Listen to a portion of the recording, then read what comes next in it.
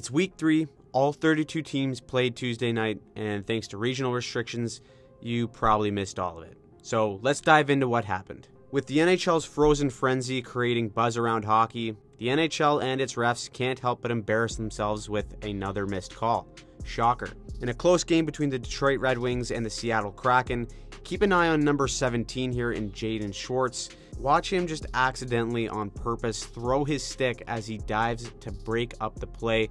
Truly a beer league special on this one that should have automatically resulted in a penalty, except it didn't, and the Kraken went the other way and scored. The Kraken ended up winning that game in OT, so ultimately, that goal ends up being the difference maker. Now, the officiating fumbles didn't stop there. In last night's OT between the Canucks and Rangers, Kreider seems to trip up Pettersson on the entry, and the Rangers go the other way on the turnover and score to win the game. And all this means is that we will likely have another year where officiating is extremely inconsistent. Now, if you want to get fired up and run through a brick wall, I encourage you to watch David Savard's shift of blocking three straight shots on the penalty kill, all while missing a skate blade. His teammates absolutely loved it. They had to help him to the bench because he couldn't skate there.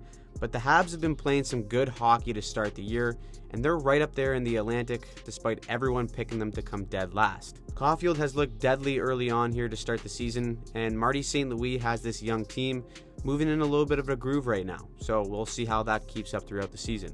As for the Senators, everyone in Ottawa held their breath when Brady Tkachuk threw this hit and went straight to the locker room.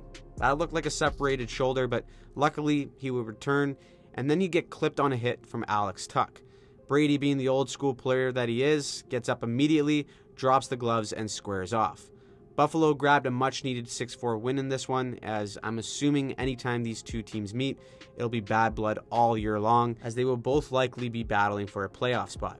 Now, stop me if you heard this one before, but the Bruins have choked another lead. This time, it was against the Anaheim Ducks as they tied it up in the final minute to force OT and then scored to win in an extra time to give the Bruins their first loss of the season. Other than that, the Bruins have had a fantastic start to the year, and the rookie Matty Poitras has been a wonderful surprise stepping into the 1C role with Bergeron retiring. They've had an easier schedule, but there's optimism around this Bruins team despite their choking habits of the past. Now, I was starting to think Ovi may never score again after he couldn't buy one against the Leafs, but luckily, an easy tap in finally gives Ovi his first on the season. He's had a little bit of a slow start. Everyone's starting to wonder if age is catching up to him a bit. I wouldn't worry though, because Ovi is known to be streaky at times, and he can have a stretch where he scores like 10 goals in 8 games, and all of a sudden, he's right there in the Rocket conversation yet again.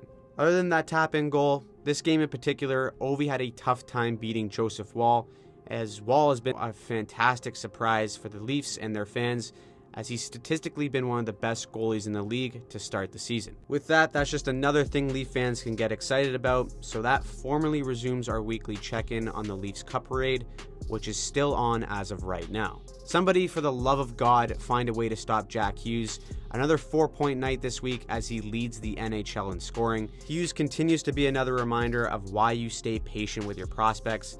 First couple of years, everyone was calling him a bust. Everyone didn't believe in the potential that he could bring to the table. And we actually did a breakdown on him earlier in the week, showing how his game has matured and why he's having so much success. So make sure you check it out after this video. Watch Cale Makar here go one on one, shift to his backhand, and absolutely roof it.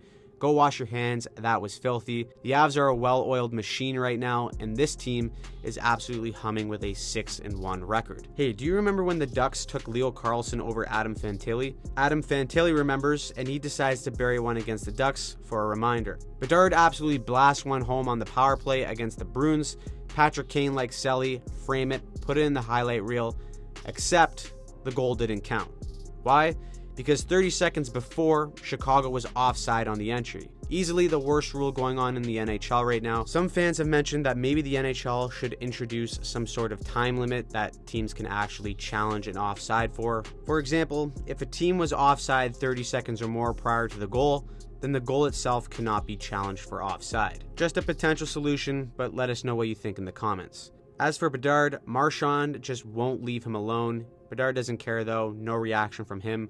Both times they faced off, the vet tried to play some mind games with the rookie, but Bedard didn't bite and nothing came of it. Shane Pinto of the Ottawa Senators was suspended 41 games due to sports betting related activities. Very ironic considering the Sens helmet sponsor is Bet99, and every other commercial I see features a pro hockey player marketing sports gambling. This league is hilarious, but he still can't do that, so he's suspended. Connor Clifton also received two games here for this headshot, can't do that either. In other news, the Battle of Alberta has officially been renamed to the Battle of Mid because both the Oilers and Flames are a goddamn mess. The Oilers' new defensive system of a box plus one is getting all the attention for their poor play, so much so that the coach had to come out and actually defend the system itself but their goaltending and offense just hasn't been good enough either. We'll do a deeper breakdown on them as well throughout the week, so keep an eye out for that video. But the Flames still haven't recovered from their playoff loss to the Oilers two years ago. Ever since getting rid of Tkachuk and Gaudreau, this team has been a mess.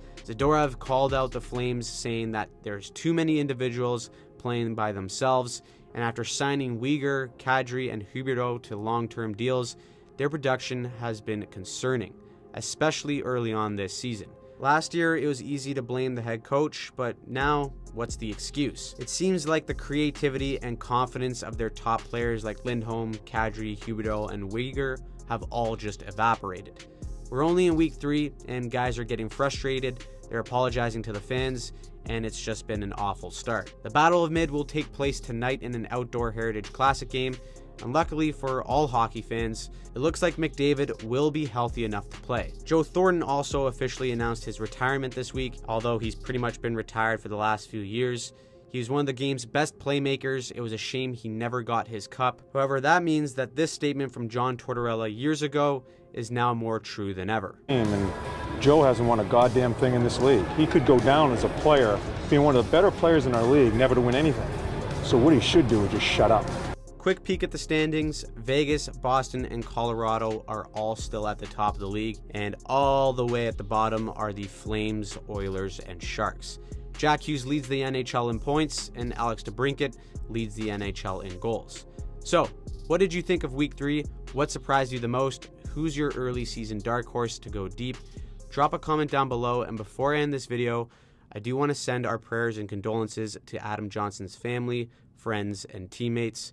Adam passed away last night after he got cut by a skate blade during a game in England.